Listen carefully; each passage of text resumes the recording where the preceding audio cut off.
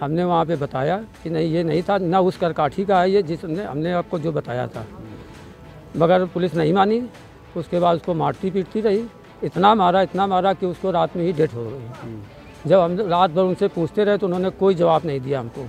सुबह किसी, आप लोग मीडिया के माध्यम से हमको तीन बजे मालूम हुआ कि नहीं, उसकी डेथ हो गई, तब हम लोग वहाँ गए। तब भी उन्होंने कोई जवाब नहीं दिया।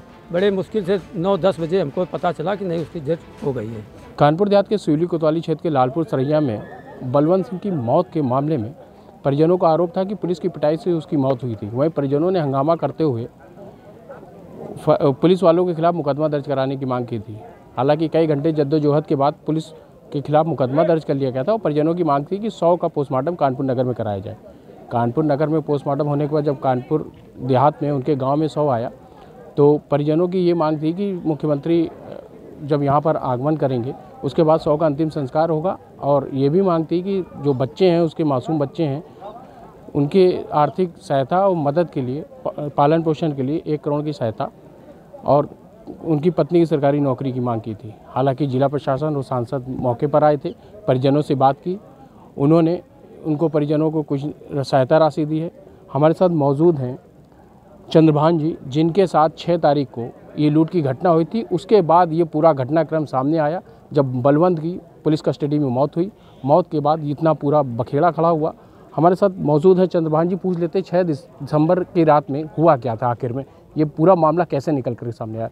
बलवंत चंद्रभान जी ये बताइए छः दिसंबर को क्या हुआ था आपके साथ? हमारे साथ हम मार्केट से आ रहे थे अपनी दुकान बंद करके आँख में मिर्च झोंक करके तीन लुटोरों ने हमारा झोला छीन लिया हमसे। उसी में हमने एफआईआर की थी। जी। सिवली थाने में। उसी एफआईआर में पुलिस को जो लोकेशन मिली वहाँ से पंद्रह सोलह आदमी उठाए। उसी के बाद एक हफ़्ते बाद लगभग हमारे भतीजे को भी उठा लिया। पता चला हमको रनिया चौकी में वो है। हम वहाँ दौड़ के गए। हमने वहाँ पे बताया कि नहीं ये नहीं था ना उस करकाठी का है ये जिसने हमने आपको जो बताया था। मगर पुलिस नहीं मानी। उसके बाद उसको मारती पीटती रही। इतना मारा इतना मारा कि उसको रात में ही डेथ हो गई। जब हम रात भर उनसे पूछते रहे तो उन्होंने कोई जवाब नहीं दिया हमको। सुबह किसी आप लोग मीडिया के माध्यम से हमको तीन बजे मालूम हुआ कि नहीं उसकी डेथ हो गई तब हम लोग वहाँ गए। तब भी उन्होंने कोई जवाब नहीं दिया। बड़े मुश्किल से नौ दस बजे हमको पता चला कि नहीं उसकी डेथ हो गई है। मतलब आप कह रहे हैं कि 12 दिसंबर को पुलिस ने उठा लिया था बलवंत को और 12 ही दिसंबर की रात में उसकी मौत हो गई। तीन घंटे में ही उठाने के तीन घंटे में बाद में ऐसी हम ये केवल जानना चाहते हैं महोदय से कि ऐसी क्या थी जो तीन घंटे में ही उसको इतना मारा गया कि उसको बिल्कुल मार ही डाला गया। अच्छा क्या करते थे बलवंत? कुछ कभी ऐसा कभी नाम नहीं नहीं कभी उनका कोई रिकॉर्ड नहीं है इस मामले में ना कोई उनके नाम एफआईआर है वो एक व्यापारी था अपना उसकी बिल्डिंग मटेरियल की एक दुकान है अच्छा खासा उसका काम चलता था इस तरीके का कोई वो है ही नहीं उसके अपराधी रिकॉर्ड।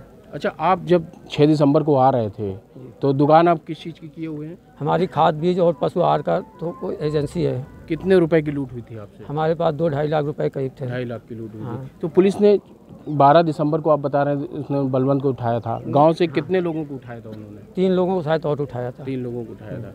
तो आप लोग पोस्टमार्टम गए थे फिर क्या हुआ था?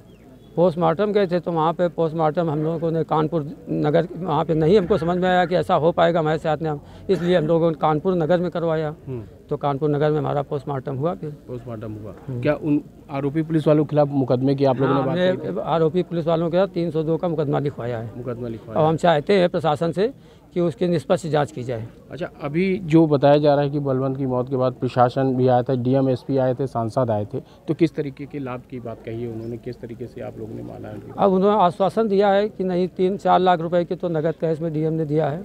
उसके बाद तीन से चार बीघे ज़मीन के लिए लिखा है आवास के लिए भी लिखा है बच्चे की पढ़ाई लिखाई के लिए जो मिलता है सरकारी तौर से वो भी लिखा है और एक विधवा पेंशन है।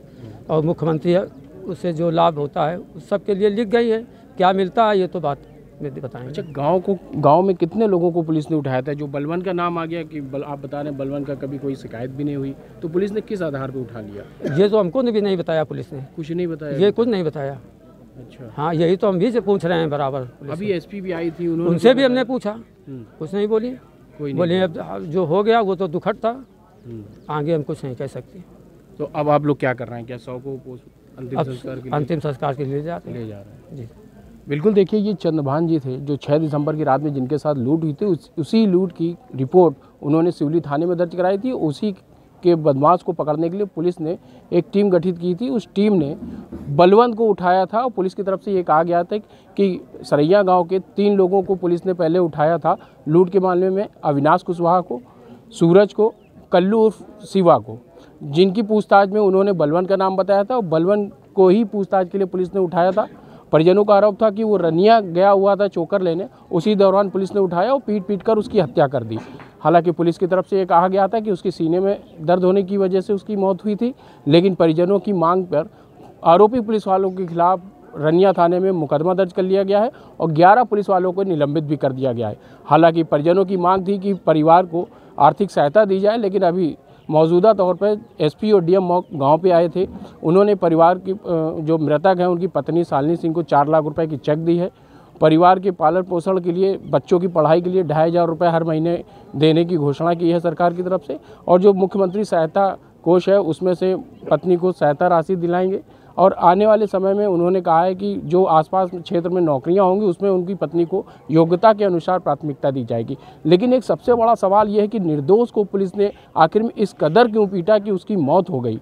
ये कोई बदमाश नहीं था, ये कोई अपराधी नहीं था, ये आम व्यापारी था जो अपने परिवार में इकलौता चिराग था जिसकी पुलिस पिटाई से मौत हुई। हालाँकि अब पूरे मामले में एसपी ने, डीएम ने, सांसद ने बताया कि एसआईटी की जाँच कर हो रही है। उच्च अधिकारियों के निर्देश निर्देश पर उच्च अधिकारी इसकी निगरानी कर रहे हैं और जो आरोपी होगा उसके खिलाफ कार्रवाई की जाएगी। आपको बता दें, मृतक बलवंत के दो बच्चे हैं, एक काव्या, एक यश। ये दोनों एक दो साल के हैं। बलवंत की शादी पाँच साल पहले हुई थी।